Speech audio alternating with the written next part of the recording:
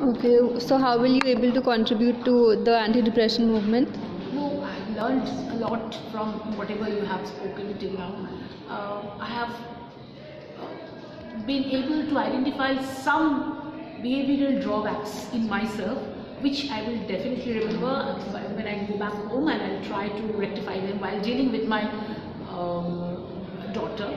Okay, and talking about my school, as I've to interact with many students whenever if I find, if I uh, am able to point out, uh, detect the symptoms as spoken by you, as discussed by you, one of them or more than one or two, I'll definitely uh, try to first I mean, talk to her personally.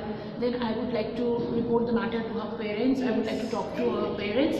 And then if possible, talk to my headmaster and with his permission, I will try to send him or her to a professional clinical psychologist so that I can Hmm. I can revert her to a, back to the mainstream of the society. If I can do anything for her welfare, I definitely.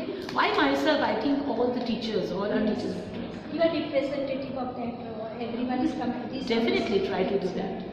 To do something good for our students.